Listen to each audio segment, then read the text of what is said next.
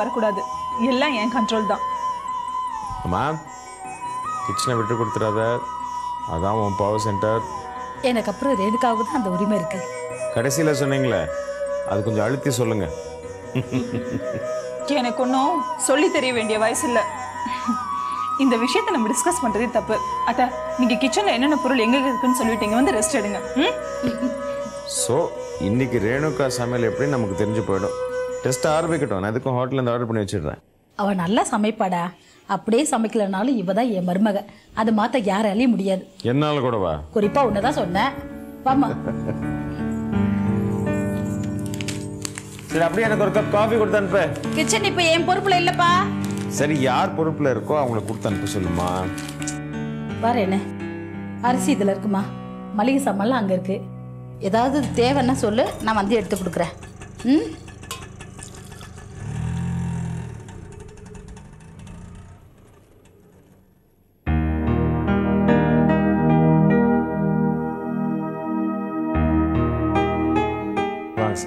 வாங்க.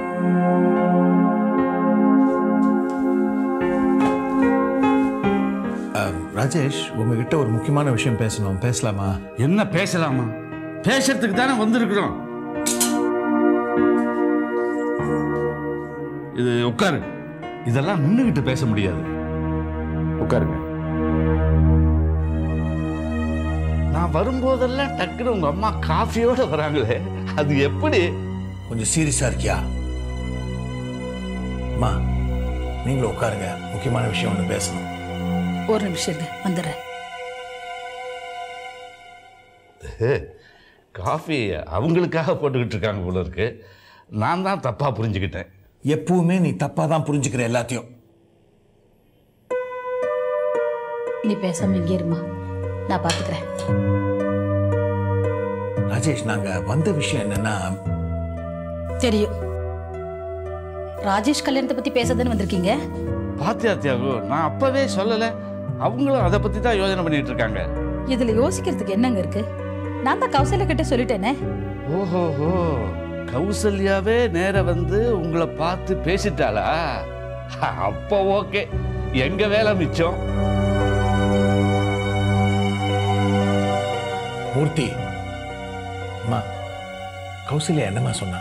ராஜேஷ் அகிலாவை கல்யாணம் பண்ணிக்கணும்னு கேட்டுக்கிட்டாங்க. கரெக்ட் நாங்களும் அதை பத்தி தானே பேச வந்திருக்கோம். நீங்க அவசரப்படுறீங்க. நாங்க தான் அவங்ககிட்ட முடிவா சொல்லிட்டோமே. ரேணுகா தான் இந்த வீட்டு மருமகன்னு. நீங்கள் தப்பாக எடுத்துக்கூடாது. கௌசல்யாவும் சரி நாங்களும் சரி. ஏன்? எல்லாருமே ராஜேஷ் அகிலாவை தான் கல்யாணம் பண்ணிக்கணும்னு விரும்புகிறாங்க அவங்க விருப்பமும் அதுதானே? என்ன ராஜேஷ்? நான் சொல்றது சரிதானே? இல்லை சார். எங்கள் அம்மாவோட விருப்பம் தான் என் விருப்பம். அப்போ உங்க அம்மாவுக்கா உன் ஆசைகள் எல்லாத்தையும் அழிச்சுக்க போறியா? எங்கள் அம்மாவோட விருப்பம் தான் என் விருப்பம் நான் சொன்னேனே தவிர எங்கள் அம்மாவோட வற்புறுத்தனால தான் நான் அந்த கல்யாணத்துக்கு ஒத்துக்கிட்டேன்னு சொல்லல சார். ராஜேஷ் ரேணுகாவும் எங்கள் வீட்டு பொண்ணு தான். அவளுக்கு ஒரு நல்ல வாழ்க்கை அமைஞ்சா எங்களுக்கு சந்தோஷம்தான். ஆனால் அகிலாவுக்கு துரோகம் பண்ணிட்டு ரேணுகா எப்படி நல்லா இருப்பா?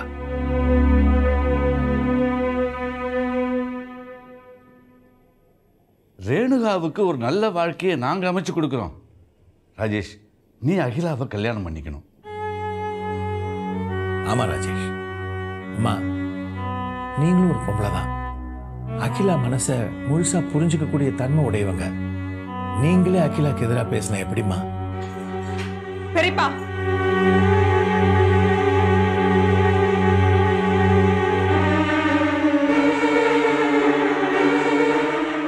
இருக்கு பெரியப்பா. நீங்க பேசுறது ரொம்ப நல்லா இருக்கு. நான் சொல்றத கொஞ்சம் கேளு ரேணுகா. இது வரைக்கும் கேட்டதெல்லாம் போதும்.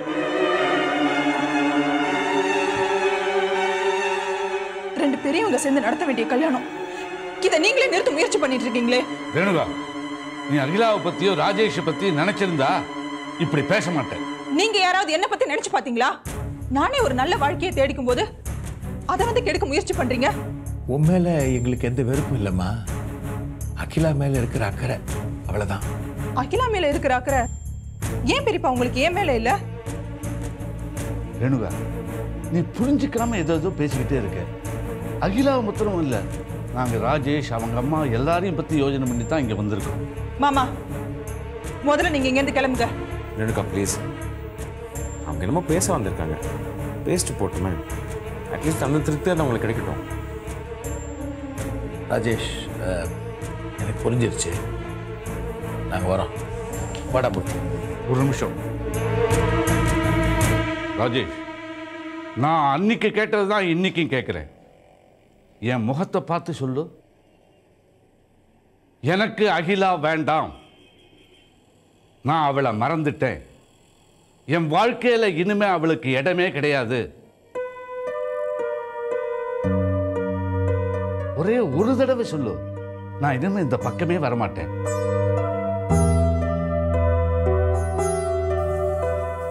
ஆ, அதுக்கு அதுக்கு என்னன்னா தாராளமாக சொல்லு இதை சொல்றதுக்கே தடுமாறுற. எனக்கு புரிஞ்சு போச்சு. உன்னால சொல்ல முடியாது. பெரியப்பா நான் உங்க பொண்ணா இருந்தா நீங்க இப்படி பண்ணுவீங்களா? பண்ண மாட்டேம்மா. கண்டிப்பா பண்ண மாட்டேன். நீ செஞ்ச காரியத்துக்கு உன்னை வெட்டி போட்டிருப்பேன். வாடா.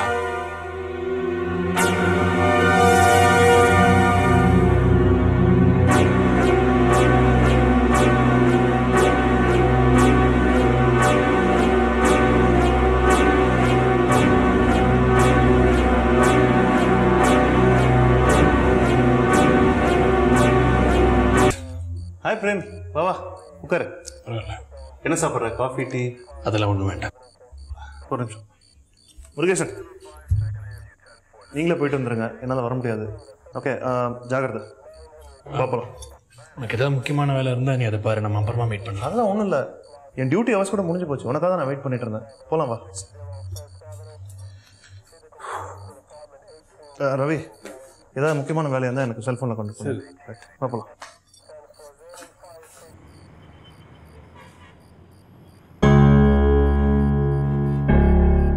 இப்போ சொல்லு பிரேம். ஏதோ முக்கியமான விஷயம் பேசணும்னு சொன்னீங்க. பரத் நான் உனக்கும் உன் குடும்பத்துக்கும் ரொம்ப தொந்தரவு தரதா ஃபீல் பண்றேன். என்னடா வளர்ற வளரல உண்மை தான் சொல்றேன். பட் இப்போ எனக்குன்னு வேற யாருமே இல்லை. என் லவ் மேரேஜ் எங்க ரெண்டு பேர் ஃபேமிலியும் எங்க கிட்ட இருந்து பிரிச்சிருச்சு. இப்போ அவளும் என்னை விட்டு போயிட்டா. நானும் என் குழந்தையும் தனியா நிக்கிறோம். ஏன்டா அப்படி ஃபீல் பண்ற? நாங்கெல்லாம் இருக்கோம்ல. இது பாரு பிரேம் உன் குழந்தை எங்க வீட்டில் எவ்வளோ கம்ஃபர்டபுளாக ஃபீல் பண்றா தெரியுமா? அது மட்டும் இல்லை அப்பா எங்கன்னு இது வரைக்கும் ஒரு வார்த்தை கூட கேட்கல. தெரியும் பரத் அதனால தான் உங்ககிட்ட ஒரு ஹெல்ப் கேட்டு வந்திருக்கேன். என்ன சொல்ற? இன்னும் கொஞ்ச நாளைக்கு என் குழந்தை உன் வீட்டில் இருக்கிறது தான் அவளுக்கு சேஃப்டி ஏன்? மறுபடியும் உன்னை மர்டர் பண்றதுக்கு அட்டம் ஏதாவது நடந்ததா என்ன? ஆமா. அந்த செபாஸ்டியன் ஹாஸ்பிட்டல்லே என்னை எதிர்பார்த்து வந்திருந்தான். நான் அங்கேருந்து டிஸ்சார்ஜ் ஆனது தெரிஞ்சதும் புறப்பட்டுட்டான். பட் எதேச்சி அங்கே போன நான் அவனை பார்த்துட்டேன். ஆனால் அவனை பிடிக்க முடியல. அவன் தப்பிச்சிட்டான். ஸோ குழந்தை உன் கூட இருக்கிறது ஆபத்துன்னு சொல்றியா? எப்படியும் அந்த செபாஸ்டியன் என்னை விட மாட்டான் நானும் அவனை விட மாட்டேன் அவனை நான் அரெஸ்ட் பண்ற வரைக்கும் என் குழந்தை உன் வீட்டில் இருக்கிறது தான் அவளுக்கு சேஃப்டி நான் கூட உன்னை தப்பா நினைச்சிட்டேன் பிரேம். எங்க உன் ஒய்ஃப் ஷூட் அவுட்ல இறந்ததும் உன்னோட அப்ரோச் மாறிடுமோன்னு எப்படி பரத்? நாம எல்லாரும் இந்த உத்தியோகத்தை ஒரு லட்சியமா விரும்பி எடுத்துக்கிட்டவங்க எத்தனை நஷ்டம் வந்தாலும். ஏன் நம்ம உயிருக்கே ஆபத்து வந்தாலும் தைரியமா ஃபேஸ் பண்றவங்க தானே? வெல் செட் இன்னைக்கு நான் நம்ம ஹெட் குவார்ட்டர்ஸ்க்கு போயிருந்தேன். என்னோட நாமினேஷன் எல்லாத்துலயும் என் குழந்தையோட பேரை மாத்திட்டு வந்தேன். நாமினேஷன்ல குழந்தைக்கு கார்டியனா அகிலா பேரை போட்டு வந்திருக்கேன். இதுல இருந்து நீ பயந்துட்டேன்னு நான் புரிஞ்சுக்கல. அந்த செபாஸ்டியனை ஒழிக்கிறதுக்கு துணிஞ்சிட்டேன்னு தான் நான் எடுத்துக்கிறேன். நியாயமா அகிலா பேரை கார்டியனா கொடுத்த இடத்துல உன் பேரை தான் கொடுத்துருக்கணும். பட் என்ன பண்றது? நீயும் என்ன மாதிரி ஒரு போலீஸ்காரன் ஆயிட்டிய? நம்ம லைஃபே ரிஸ்க் தானே? நம்மள மாதிரி யூனிஃபார்ம் சர்வீஸ்ல இருக்கிறவங்க தான் பிரசன்ட்ல வாழ்ந்துட்டு இருக்கிறோம்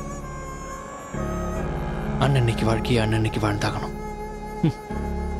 ஏன்னா அடுத்த நாள் வாழ்றதுக்கு நாம உயிரோடு இருப்போமான்னு நமக்கே தெரியாது. பிரேம் இனிமே நீ எதை பத்தியும் யோசிக்காத. உன்னோட ஒய்ஃபை சுட்டு கொன்ன அந்த செபாஸ்டியனை எப்படி பிடிக்கிறதுன்னு மட்டும் யோசி ஓகே? இது பாரு Prem don't worry about your daughter she is very safe in our house okay? Thanks Bharath come on இந்த தேங்க்ஸ் சாரி இந்த ஃபார்மாலிட்டிஸ்லாம் நமக்கு வேணாம். We are friends okay?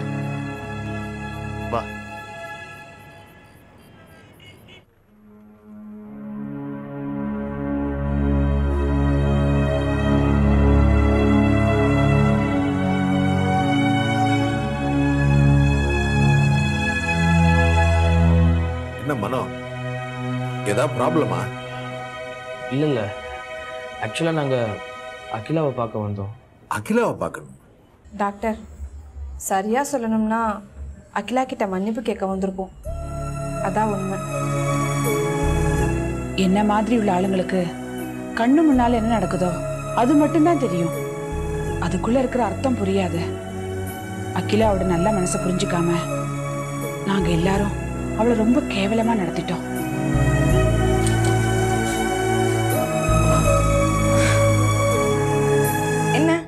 எல்லாரும் சேர்ந்து வந்திருக்கீங்க. கௌசல்யா மேடம் எப்படி இருக்காங்க? ம். ஆக்சுவலாக உங்களை பார்க்கலாம் தான் வந்தோம்.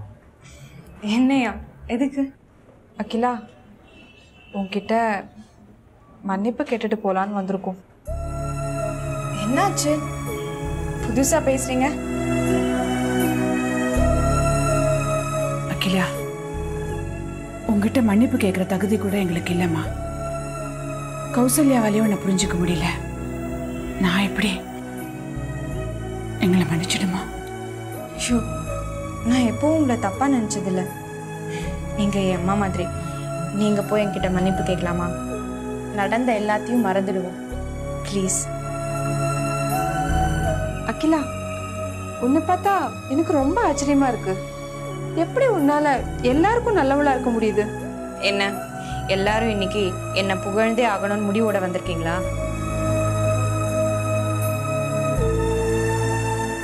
நாங்கள் ரொம்ப ஈஸியாக சாரி சொல்லிட்டோம். ஆனால் பாதிக்கப்பட்டது நீங்கள் மட்டும்தான். அகிலா நீ என்ன அம்மாவை நினைக்கிறதா இருந்தா நான் உங்ககிட்ட ஒன்று சொல்லுவேன். கேப்பியா? சொல்லுங்க. நீ கல்யாணம் பண்ணிக்கணும். இல்லைன்னா உனக்கு பாவம் பண்ணிட்டதா? வாழ்க்கை ஃபுல்லா மனசு உறுத்திக்கிட்டே இருக்கும். இப்போ கூட எங்கள் சுயநலத்துக்காக தான் உங்களை கல்யாணம் பண்ணிக்க சொல்கிறோம் உங்க எல்லாரோட கவலையும் எனக்கு புரியுது. ஆனா உடனடி இன்னொரு வாழ்க்கைய பத்தி என்னால நினைச்சு பார்க்க முடியல. இப்போதான் உடம்பு மனசும் ரொம்ப லேசா இருக்கிற மாதிரி இருக்கு. கொஞ்சம் கம்ஃபர்டபுளா ஃபீல் பண்றேன். இப்படியே இருந்துடலாம் போல இருக்கு. முடியுமா தெரியல. அகிலா காலா காலத்துல கல்யாணம் நடக்கணுமா? இல்லனா நாம நினைக்கிற மாதிரி வாழ்க்கை அமையாது. கொஞ்சம் டைம் கொடுங்க. என்னை மாத்திக்க முயற்சி பண்றேன்.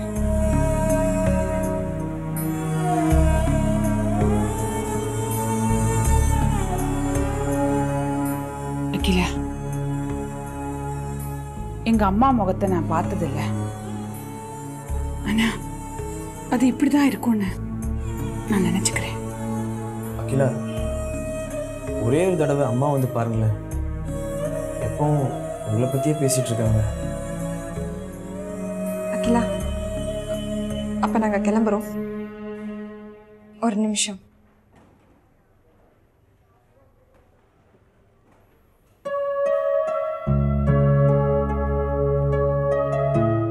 மிஸ்டர் சத்யா. இன்னும் என் மேல கோவம் போகலையா? பேசாம நின்னுட்டு இருக்கீங்க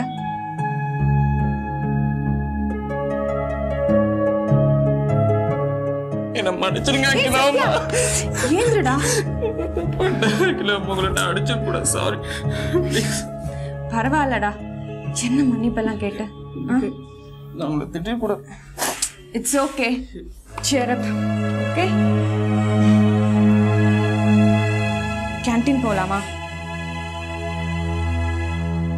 டாக்டர் நீங்களும் வரீங்க.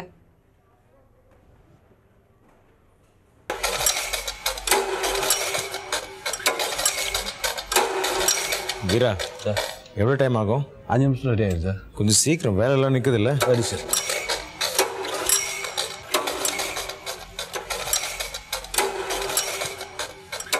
சார் உங்களை பார்க்க கௌசல்யான்னு ஒரு லேடி வந்திருக்காங்க. நான் நம்ம ரூமில் உட்கார வைங்க நான் வந்துடுறேன். ம்? ஃபைவ் மினிட்ஸ் வெயிட் பண்ண சொல்லுங்க. வீரா சீக்கிரம்.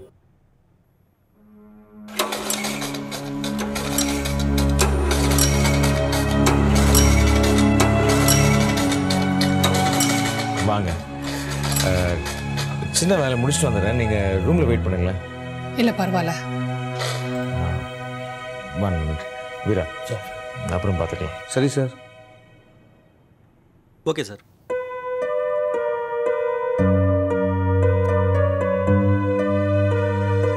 சொல்லுங்க.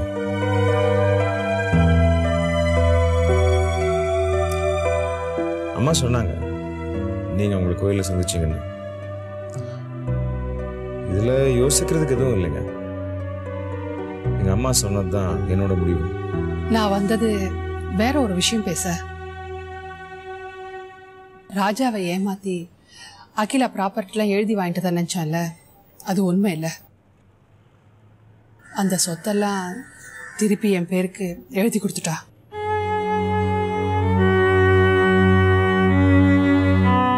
சரி. அதுக்கே இவ்வளவு நாள்? ப்ளீஸ் அவசரப்பட்டு எதுவும் பேசாதீங்க. இப்போ கூட இந்த டாக்குமெண்ட்ஸை கொடுத்துட்டு யாருக்கும் சொல்ல வேண்டாம்னு சொன்னா? சரி இப்ப இதெல்லாம் என்கிட்ட சொல்லி என்ன எதிர்பார்க்குறீங்க? உங்களுக்கே புரியும்னு நினைக்கிறேன். சாரி மேடம் இப்போ நம்ம எதுவுமே செய்ய முடியாத தூரத்துக்கு வந்துட்டோம். எனக்கு அப்படி தோணலை. உங்கள் கண்ணுக்கு இப்போ அகிலா செஞ்ச தியாகம் மட்டும்தான் தெரியுதுல்ல? உங்க பொண்ணு ரேணுகா உங்க கண்ணுக்கு தெரியலல்ல ரேணுகாவை பெத்தவனா? பரவாயில்லையே. ஞாபகம் வச்சிருக்கீங்களே? நான் சொல்றேன்னு தப்பா நினைக்காதீங்க. உங்க புருஷனுக்கும் அகிலாவுக்கும் எந்த ஒரு உறவு இல்லைன்னு தெரிஞ்சதுக்கு அப்புறம் தான் இப்போ திடீர்னு உங்களுக்கு அகிலா மேல பாசம் வந்திருக்கு. அது நிச்சயமா அகிலா மேல ஹண்ட்ரட் பர்சன்ட் அக்கறை இல்லைன்னு நான் சொல்றேன். இது நீங்க உங்க புருஷன் மேல வச்சிருக்க காதலோட வெளிப்பாடு தான் என்னால உங்களுக்கு புரிய வைக்க முடியாது. அதுக்கு அவசியமும் இல்லை. அது சரி. உங்க புருஷன் நல்லா இருக்கணுங்கிறதுக்காக இன்னொரு பொண்ணை பார்த்து கல்யாணம் பண்ணி வச்ச ஆள் தானே நீங்க? நீங்க எப்படி பேசாம எப்படி பேசுவீங்க? ஆனா கௌஷல்யா மேடம் நடந்த எல்லாத்துக்குமே ஒரு வகையில நீங்க தான் காரணம். நீங்க உங்க புருஷன் மேல வச்சிருக்கிற அந்த காதல் தான் காரணம். காதல் தான் காரணம். இருக்கலாம் நான் இப்போ உங்ககிட்ட கேட்கறது அகிலா இழந்த வாழ்க்கைய திருப்பி கொடுக்கணுன்றதை தவிர சத்தியமா வேற எந்த அர்த்தமும் இல்லை. அகில அடிக்கடி சொல்வா நான் கௌசல்யா மாதிரி இருக்கணும்னு ஆசைப்படுறேன். உங்க கம்பீரம் உங்க அறிவு. தயவு செய்து உங்க இமேஜ் உடைச்சுக்காதீங்க. தப்பு. நான் தான் இப்போ அகிலா மாதிரி இருக்க விரும்புறேன். அகிலா அவளோட வாழ்க்கைய பணைய வச்சு எனக்கு நிறைய கத்து கொடுத்துட்டா. Alright. Now what can I do for you? Not for me for yourself and for Akila என்னால என் முடிவை மாத்திக்க முடியும்னு எனக்கு நம்பிக்கை இல்லை. உங்களால முடியும். ரேணுக்கு அவங்க பொண்ணுங்கிறத மறந்துட்டு பேசுறீங்க. இதுல இருந்து நான் சுயநலத்தோட பேசலன்றது உங்களுக்கு புரியுது. தயவு செய்து இனிமே இந்த டாபிக் பத்தி பேசாதீங்க மேடம் என்ன கம்பல் பண்ணாதீங்க ப்ளீஸ் பேசினா மாறிடுவோன்னு பயப்படுறீங்க. அப்படிதானே? மிஸ்டர் ராஜேஷ்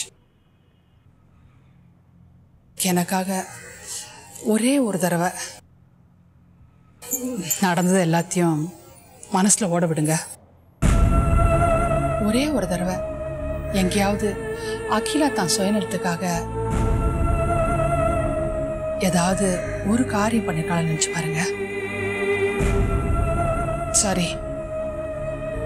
தேடி பாருங்க. அகிலா யாருன்னு புரியும். அகிலா மாதிரி ஒரு பொண்ணுக்கு நீங்க நல்ல வாழ்க்கை கொடுக்கலன்னா தோத்து போறது அகிலா இல்லை. நீங்க நான் இந்த சமுதாயம். ஒரே ஒரு தடவை எனக்காக கடந்த வாழ்க்கையை வாழ்ந்துட்டு சொல்லுங்க.